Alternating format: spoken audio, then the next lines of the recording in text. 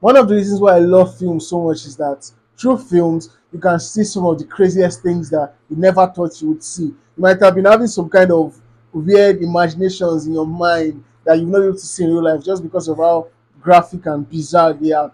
But through films, you can see those things. And honestly, I saw something in this film that I have wondered how it will look like. It is kind of a weird thing. I have wondered how it will look like.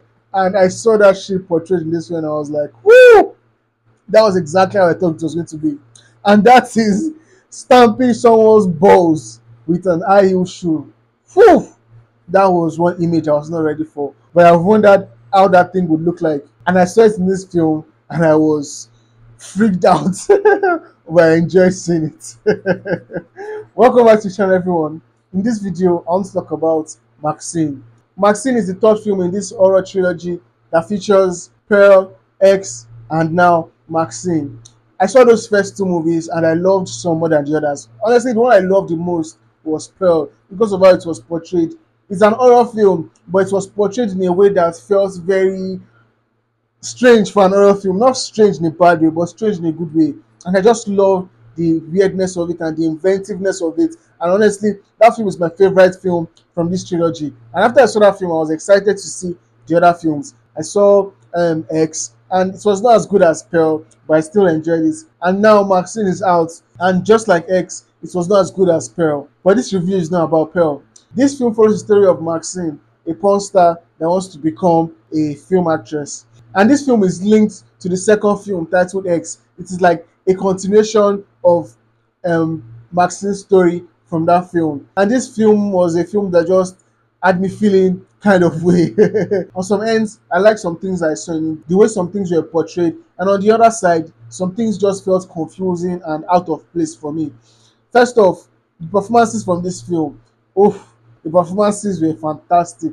Like that is something you expect with the kind of caliber of actors that are in this film. Actors like Giancarlo Esposito, Kevin Bacon, Elizabeth Debicki, Bobby Cannavale, and Halsey is also in this film. All those actors delivered fantastic performances, and it almost felt like they were having fun playing their characters, and was something that just heightened the greatness of their performances. And seeing Giancarlo Esposito in this kind of film, someone that I've mostly known as Gus Fring in this kind of role, or something that was a breath of fresh air, and I liked seeing it. And the way he played it, I enjoyed his performance. But I can't talk about the performance without talking about the main star of this film, Mia Goth as Maxine. Her performances in the first two movies were fantastic, and she just continued on that trend and gave another fantastic performance. The way she played her character in this film, you could see that she's someone that is trying to move forward in her life, but at the same time, her past is haunting her, and you can just see the conflict on her face and how she's trying to move past it and deal with all those things. And was something that she just portrayed so brilliantly. Mia Goth's performance was so good in this film.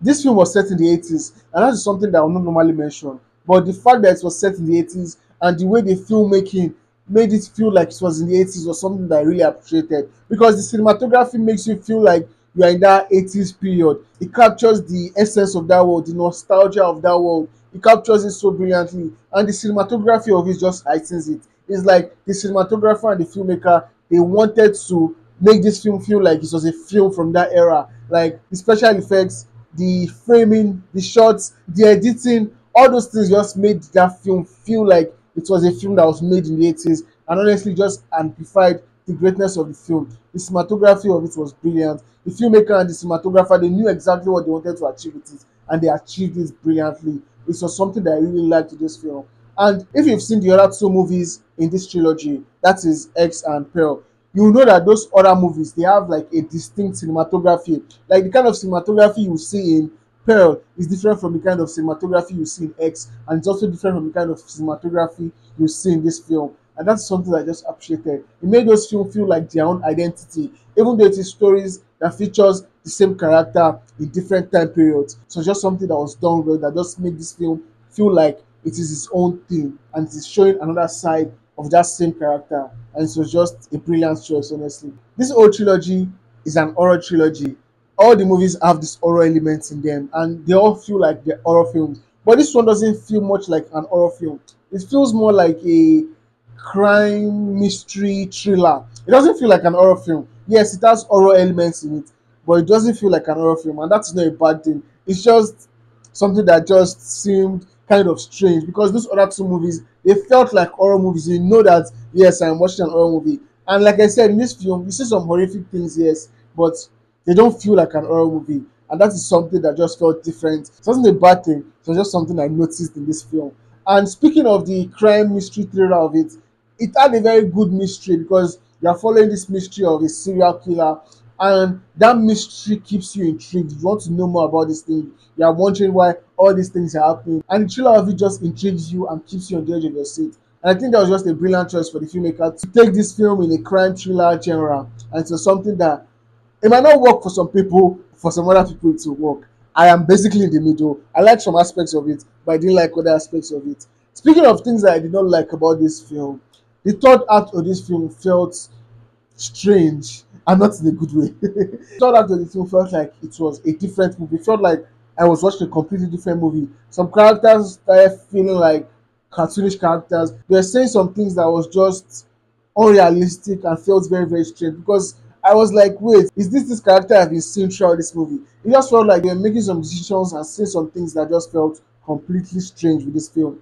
And at some point, that third act of the film just got kind of confusing and honestly took me out of the experience. It's not a bad thing like that, it's just something that when you see it, it might just confuse you a little bit and you might be wondering why they are making some kind of decisions like this. And yeah, it's just something that I did not like with this film and the third act. Overall, I feel like this film was the least in this trilogy. My favorite in the trilogy, like I said earlier, is Pearl. And this one did not live up to the greatness of Pearl, but it was not a completely bad movie you'll see it and there will be some things that you enjoy about it. This film is a film that I feel like we have audiences divided because some people are going to like this film so much they will feel like yes, this is one of the best films I've seen this year. I don't feel that way, but I don't think it was a completely bad movie. But some other people will think that this movie was just completely bad and they did not like anything about it. I can see those two perspectives on this film. Me personally, I'm in the middle. I don't like it completely, and I don't hate it completely. yeah, that's how I feel about it. So, have you seen Maxine? What do you think about it? Comment below and let me know. And have you seen the whole trilogy, X, Maxine, and Pearl? Which of them is your favorite, or which one do you like the most? Comment below and let me know. If this is your first time on my channel, please subscribe to my channel for more contents like this. Thank you for watching. See you in the next video. Cheers.